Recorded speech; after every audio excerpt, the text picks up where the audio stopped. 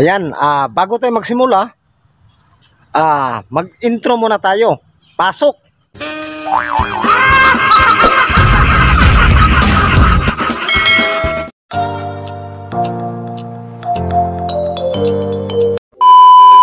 Ayun mga kabay, nag-ano pala ako dito, ah, grass cutter ako kahapon. Kaya medyo ano ta sa sipon mga kabay kasi ah, naabutan ako ng ulan, siguro payos na payos ako. Tapos naabutan, nandito ako sa pavilion mga kabay, ganito kalaki yung inaalagaan ko. Yan. Ah, ito mga kabay, yung mga Carabao grass na yan, kung hindi nyo maitatanong, kasi hindi naman talaga kayo nagtanong. ah, nagtanim ako niyan mga kabay isa-isa. Kaya ngayon, ito na siya. Yan, ganun tayo mag-alaga ng Carabao grass. O kailangan pagka ganito na, kailangan rin natin ano mga kabay i-maintain. Ah, kasi dito to sa ano Villa Encarnacion sa pavilion ni Sir. Yan punta tayo dito. Ah, ganun lang sa kaluwang mga kabay. Dito tayo sa may pavilion. Yan, malinis na rin dito mga kabay. Ito yung daanan. Tapos ito yung pavilion, yan. Yan, kapag pwede kayo mag-rent na may birthday kasal o vinyag, o dibo, pwede kayo dito mga kabayan, pwede kayo mag-rent dito, mapag-usapan natin yung presyo. Yan. Ah, ito, nagwawalis ako mga kabayan, ito daanan dito. Pati yung mga gumamila na yan mga kabay, tanim ko pa yan dati. Yan, iba-ibang klase na mga pang landscape yung ginamit natin dito. Tapos dito, ah, yung kabila mga kabayan, may garden din yan. Yan o. Puntahan natin mamaya i-view natin. O, ito yung ano ngayon, yung dito sa kabilang side. Yan siya. Kasi yung dyan, bukod yung nandyan, papunta namang kapilya. Yan siya. O, sobrang laki. Yan. Ah, yung ito mga kabay, ano na siya, malinis na talaga siya. Yan o, malinis na yan. O, tapos punta tayo dito sa likod banda. Yun, ganun na lang kalaki yung inaano natin dito mga kabait. Tsaga lang talaga. Kasi ah, dito rin natin binubuhay yung mag-ina natin. Yan, kapag uh, sahura na, yan, papadala tayo kaagad. Ito yung likod ng pavilion mga kabay. Ayan siya. Yan yung Villa Encarnacion. Tapos dito punta tayo sa kabilang garden. Sobrang laki nito mga kabay. Grabe. Yan, may mga ah, buhay na yung naitanim ko dito. Yan, magtitrim na naman tayo ng ano, ah, gumamila. O, ito na yung katagiliran niya mga kabay. Yan, ito yung isa. No, sobrang ganda yung ano. Yan, may mga upuan na dyan. Yan, tapos si Alan, saan na naman kayo ito galing. Tapos dito may dalawang kwarto yan sa taas mga kabay. Yan, may dalawang kwarto. Ito naman yung dirty kitchen. Yan kapag may ano kayo, ito yung dirty kitchen natin. Yung yan. Yan naka ano rin yan mga kabay, naka tiles. Hindi lang tayo papasok. Yan. Okay. Ah, ganun dito mga kabay, tsagaan talaga. Pagka tsagaan, siyempre, kailangan mo na rin sipagan. ito kahapon, Ah, hindi pa ko tapos maghakot ng mga dahon mga kabay. Ayan, sobrang dami. Ito dito, lilinisin ko pa yan lahat. Yan, sobrang laki pa nito mga kabay. Oh, dito yung traktora. Yan, buti lumabas na si Haring Araw. Yan. Ah, ganito dito mga kabay. Yan yung ano natin. Ito, magwalis pa ako dito. Yan, kasi dito may fish pan din mga kabay. Kaso lang hindi namin pinakawala ng isda sa ngayon. Kasi doon lang kami sa kabilang side. Yan na, sobrang laki ng pavilion mga kabay. Yan. Ah, kahit ganito mga kabay, ah, kahit maraming dahon mga kabay, hindi ka tatama rin. Kasi alam nyo bakit? Ah, nagagamit ko siya sa mga halaman mga kabay. Ah, nagagawa ko siyang pataba. Kasi mag, pag, ah, pag naging compost na siya, ah, may ilalagay ko siya sa bawat halaman natin. Yan o, to grass cutter ko patayan. Yan siya kasi nagwawalis nga tayo dito mga kabayan. To. Yan. Sobrang laki pa mga kabayo. Linisin ko hanggang doon sa dulo pa. Dito naka-start na ako kanina. Yan. Sobrang dami mga kabay. Yan ay yun na yung pavilion. Oh, sobrang layo. Yan. Yung walisin natin hanggang doon pa, yan yung simbahan. May kapilya dyan mga kabay. Yan sobrang laki. Napunta tayo dito. Ah, gani, ganun lang talaga mga kabay. Kailangan mo lang talaga magtiyaga. Mhm. Ganun lang talaga yung ano natin. Yan, nandito na tayo sa kapilya. O ito mga kabay, hindi pa nga ako matapos-tapos sa landscape ko dito. Yan kasi may daan yan. Papunta doon sa pavilion. Ayan na yung mga hollow blocks pa. O, magkabilaan yan. Ah, saka na lang siguro mga kabay pagka hindi na tayo masyadong busy. Saka na tayo mag-landscape. Yan, ito yung diretsyo ng kapilya mga kabay. O, sobrang ganda niya. O. Sobrang laki. Yan. Tapos dyan may malaki kaming fish pan. Kasi inaano ko nga si sir na pwede naman magpakawala ng mga isda. Fishing na lang mga kabay. Kapag may mga bisita tayo, pwede kayo pumunta dito mag-fishing. Yan ito dito, walisaan yung i-grass cutter ko pa yan lahat. Tapos ito na yung fish pan mga kabay, sobrang laki din ito. Yan. Sobrang lawak yan mga kabay, yung fish pan na yan. Yan nga sa ngayon may mga isda yan mga kabay. Yan no, sobrang laki. Yun. Tapos siyempre, ah, basta lahat dito mga kabay, magmula magmula sa mga puno, yung tulad nitong akasya, yan, tanim ko pa dati yan mga kabay. Yan ngayon sobrang laki na. Sobrang tagal ko na kasi kay sir. Yan. Tapos lahat ng mga halaman, ah, tanim ko rin yan mga kabay.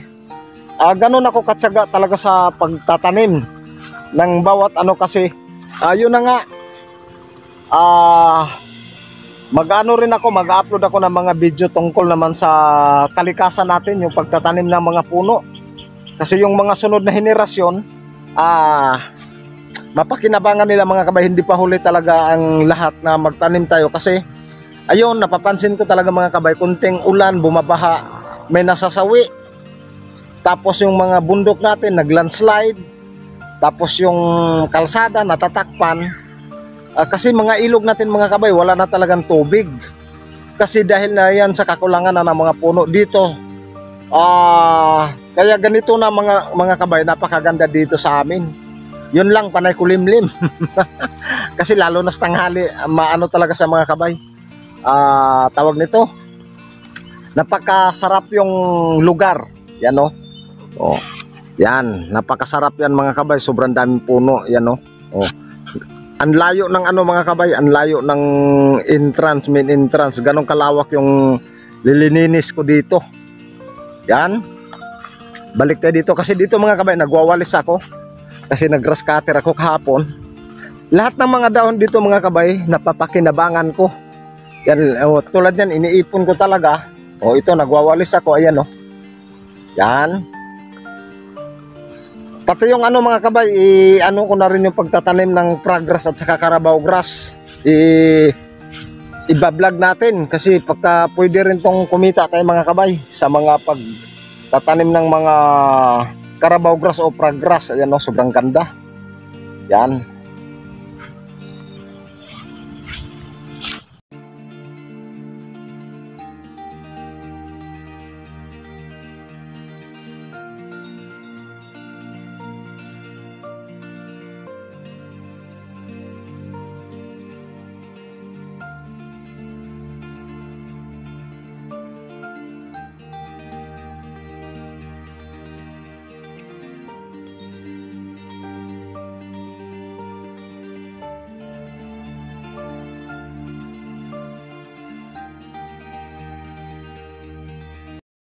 Two hours later.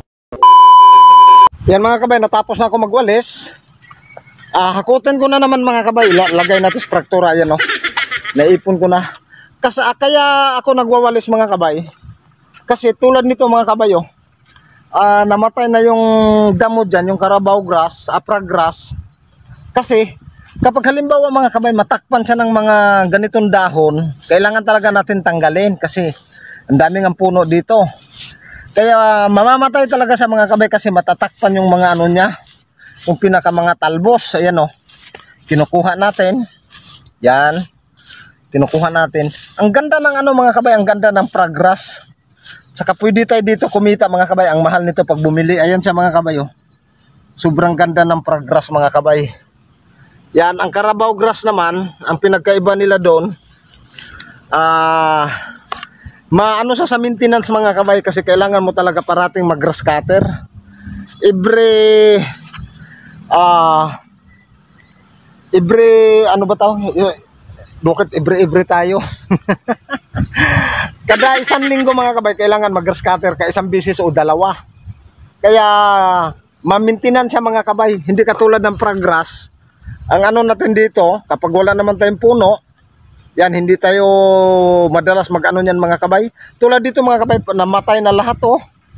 Ah, yan, dati punong-puno to ng ano mga kabay. Ang problema, nung umuwi kasi ako ng probinsya, yun, ah summer yun mga kabay. Sig- ah, yung kasama ko dito, si- siyempre sobrang laki mga kabay. Tapos siya lang mag-isa, hindi niya kayang nadiligan lahat. Tulad ng mga iba nating halaman, ang dami, ang dami talaga ring namatay. Ah, sabi ko, yun, eh, naintindihan ko naman. Ah, kaya ano, ah, nagpaparami tayo ulit kasi alam ko siya lang mag-isa, mahirap lalo. Kahit sa pavilion lang mga kabay, kapag mag-maintain ka dyan, sobrang hirap lalo pa dito sa garden, sobrang laki. Yan. Pero nakakatuwa talaga mga kabay kasi sa, dito sa farm ni Sir, yung sa Villa Encarnacion, ah bukod na nakatanim ako ng mga puno, sobrang lalaki na, naka nag, nag ano ako nag landscape nakapagtanim din tayo ng maraming gumamela maraming halaman. Ngayon greenfield na talaga sa mga kabay. Ah isa din sa nakakatuwa mga kabay. Yan kahit uuwi tayo at least may na-develop tayo. Yan. Okay.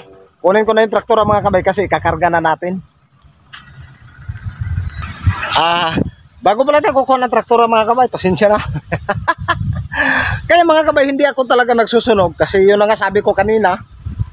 Ah, yung mga dahon mga kabay na papakinabangan natin, ah, na ilalagay natin sa halaman mga kabay. Yan. Tapos may bumibili pa talaga mga kabay, malaking bagay talaga yung maging ano ng halaman. Ito sa mga kabay oh.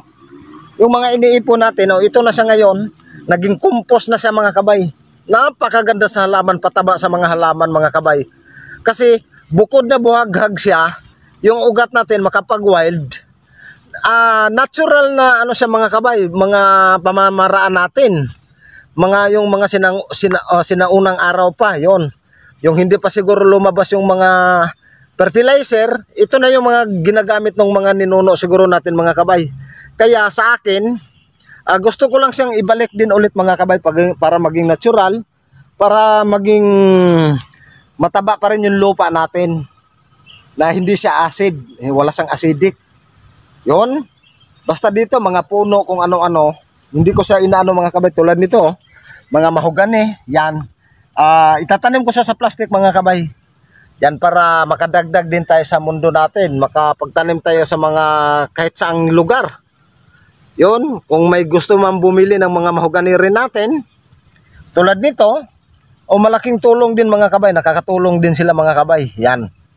Kaya, kukunin na natin yung traktora. Yan. O dito may palayan pa dito sa gilid ko. Kasi bukid to mga kabay, tagiliran ng bukid. Ano, palayan yan mga kabay. Yan. Yan, palayan yan. Oh, sobrang laki dito mga kabay. Sobrang ganda mga kabay. Yan oh. Yan. Yan, kasi dyan banda mga kabay, bayan na yan. Bayan ng Kamiling. Okay. Ah, kunin ko na yung traktora.